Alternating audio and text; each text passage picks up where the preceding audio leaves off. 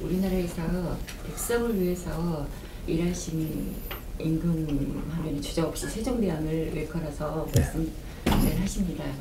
근데 본인 시각에 따라서 약간 좀 틀려질 수도 있고 그렇기 때문에 오늘날 지도자들이 어, 정말 세종대왕을 보고 그 어떻게 거울 삼아서 해야 되는지 그 관점에서 풀어주십시오. 세종대왕이죠. 왕. 임금 아니죠. 임금하고 왕은 틀립니다. 어. 그리고 지금은 대통령인데 대통령은 질이 한참 낮은 겁니다. 어. 이, 임금은 어버이고, 나라의 어버이고, 어. 왕은 왕초예요. 어? 이 나라가 내 거라 하는 거고, 어, 이거는 그 힘의 논리죠. 왕은 힘의 논리고, 임금은 덕치고, 어, 여기 틀립니다. 그래서 존경받는 게 임금이지 왕은 존경받지 못해요. 음. 그래서 지금 대통령제는 머섬이고 머섬. 뭐 여기 질이 한참 하향돼 갖고 있는 거죠. 어, 이런 것인데 우리는 앞으로 어떻게 돼야 되느냐 지도자들이 백성을 위해서 사는 지도자가 돼야 됩니다. 지도자가 돼야 되는 거지 월급제 일꾼이 돼서는 안 된다 이 말이죠. 내가 백성을 사랑해야 되고 국민들 어, 지금은 국민이라 그러죠. 국민들을 사랑해야 되고 국민들을 위해서 우리가 뭘 할 것인가를 생각하는 사람들. 어, 여기 요, 요 나라의 주인이 되는 거예요.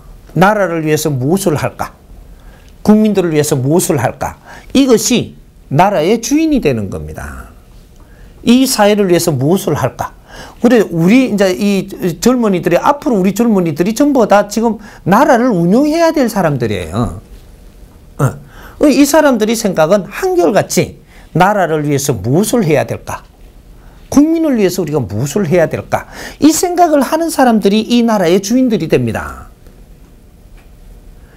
나를 불태우는 사람이 이 나라의 주인이 되고 백성들한테 존경을 받게 돼 있지. 내가 살기 위해서 백성을 볼모로 잡는 자는 항상 천대받게 돼가 있고 철퇴를 맞게 돼가 있어요 앞으로. 여기 미래사회입니다.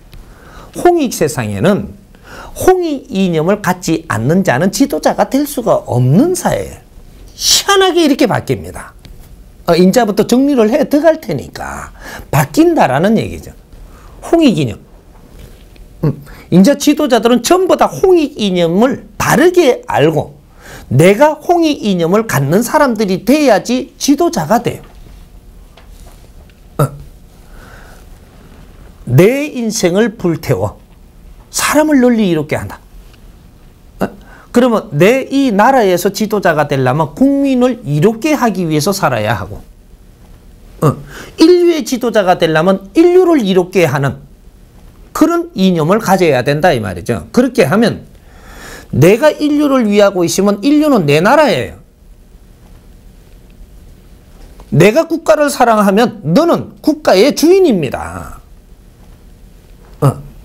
내가 국민들을 사랑하면 나는 국민의 어버이가 되는 거예요. 그럴 때 너한테 크는 힘을 하늘에서 내려줄 것이고, 어, 요거예요. 그러니까 그렇게 안 해도 돼. 내가 뭐 이래 내가 지금 이렇게 선포하는 거는 하늘의 법칙을 정확하게 가르쳐 주는 것이지 이걸 하라 안 하라 하는 게 아니에요. 어. 우리는 스스로 이념을 잡고 그 길로 가고자 하지 않으면 하라 그래도 할 수 없는 일들입니다. 어. 그러니까 우리가 요 하나만 알아두면 돼. 내가 삶이 앞으로 질량이 좋게 살 것이냐, 어렵게 살고 싶으냐? 어. 어떻게 살고 싶어요? 질량이 좋은 삶을 살고 싶죠. 그렇다라고 하면은 우리는 질량이 높은 생각을 해야 됩니다. 그러면 질량을 높, 좋은 삶을 살게끔 전부 다 이끌어줍니다. 어, 여기 자연의 근본이에요. 어, 법칙이고. 어.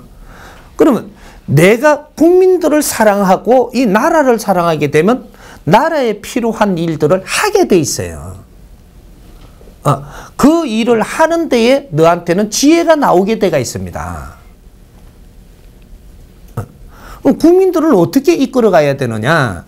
국민들은 너가 일을 할 거를 찾아줘야 되고 우리가 지금 돈 벌려고 살게끔 이끌면 안 되고 내가 할 일을 찾게끔 만들어줘야 돼요. 국민들을 이끌고 나갈 때는 할 일이 무엇인가? 요걸 열심히 할 수 있는 환경을 만들어주는 이런 운용을 해야 된다는 거죠. 어, 그러면 돈은 안 벌어도 됩니까? 돈은 네가 벌려고 안 해도 그런 사람은 그는 실력이 나오고 그건 너가 쓸 거는 얼마든지 들어오게끔 돼 있습니다. 어, 근데 돈에 욕심을 내면 너는 너 실력이 안 나와요. 일을 찾는 사람은 일이 보이고 일이 남이 안 시켜도 일이 보여요. 돈을 찾는 사람은 일이 안 보여. 돈이 될 만한 게 보이지. 응? 요거는 질량이 낮은 사람이 밖에 안 되는 거죠. 어? 요런 거니까 우리 정치인이 됐든 나라의 일꾼들은 홍의 이념을 가져야 되고 이제 홍의 이념을 우리가 바르게 알아가지고 이때까지 아는 그러한 기본적인 얇은 거 말고 깊이를 알아야 된다. 이제 홍의 이념을 바르게 알고 우리는 홍의 인간으로서 부끄러움이 없어야 됩니다.